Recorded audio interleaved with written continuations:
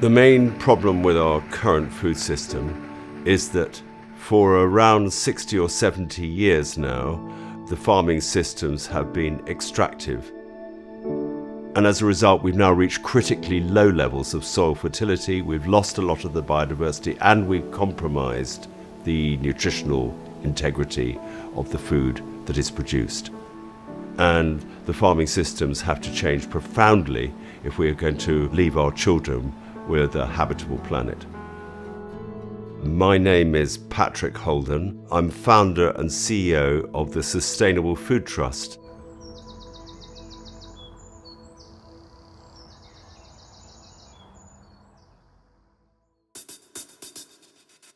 If you ask most people on the street, oh, what do you think about eating meat? They'll say, well, meat's bad.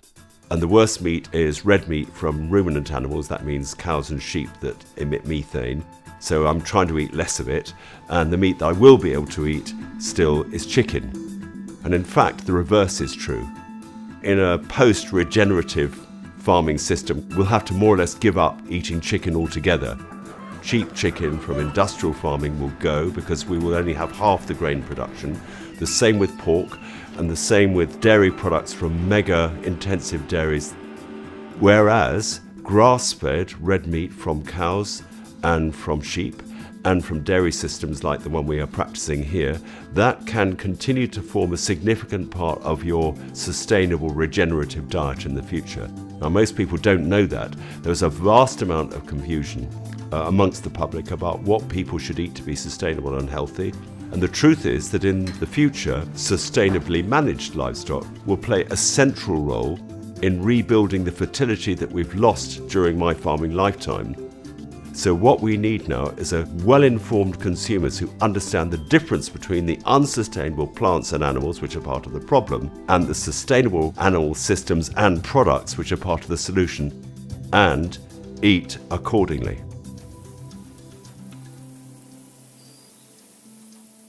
Food waste is a very interesting manifestation of unsustainable farming systems.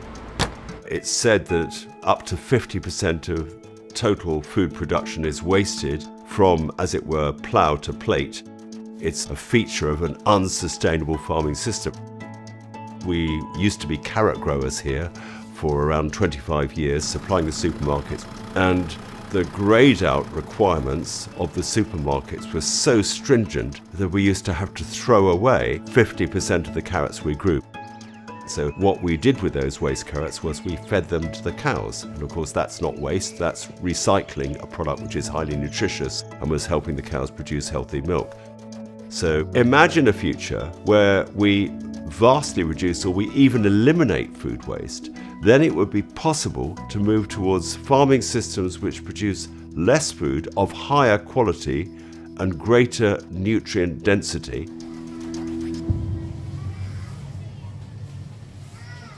I think malnutrition is a growing problem, but of course it's a subtle issue because half the population is overweight or obese and the other half are suffering from various kinds of nutritional deficiency. When we buy a shopping basket of food in a supermarket today, it is not as nutrient dense as it was 40 or 50 years ago. So we have a food system, part of which is an underclass of people for whom the affordability of food is a key barrier. And as a result, uh, they probably are buying degraded food from highly industrial, highly processed food systems. And that is probably compromising their health those same food products which are produced from intensive farming systems which have then been highly processed are deficient in key micronutrients.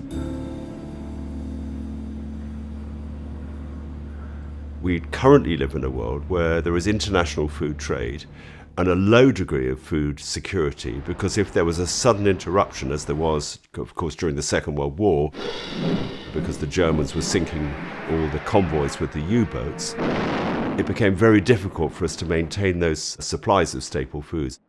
And the history shows us that during the Second World War, very few people wasted food because food insecurity was such a, an issue. People valued food. They paid more for it, it was more expensive, and they didn't throw it away. And I believe it's possible to move forward to a system like that where waste becomes a feature of the past, not the future. Farming is a very major contributor towards greenhouse gas emissions, estimated variously as being up to 30% of total emissions from the farming and food system as a whole, if you include transportation. But the wonderful news about farming is that whereas it's been part of the problem for the last few decades, if we change our farming practices, we can actually make farming part of the solution because it's the only area of public life where we can actually take perhaps up to 100 parts per million of CO2 out of the atmosphere and lock it back in the soil to build soil carbon stocks.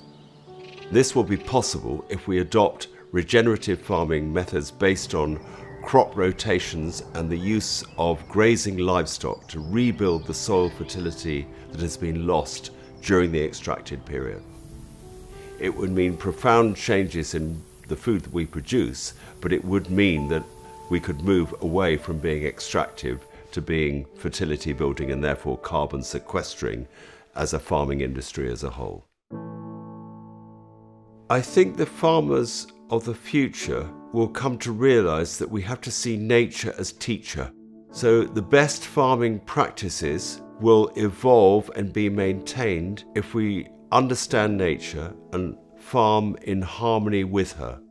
Because nature is a manifestation of balanced equilibrium of food production, of the vast diversity of animals and plants that constitute our ecosystems, and a stability and a harmonious, ongoing, natural functioning ecosystem. And the question is whether we can shift to regenerative farming systems at scale, global scale, in the time available, which is probably 10 to 20 years, to avoid irreversible climate change. The vast majority of the habitable area of planet Earth is now farmed. So if we want to ensure that the planet is habitable for future generations, we have to change the way we farm. Farms have been part of the problem, but through changes in farming practice, we can make them part of the solution.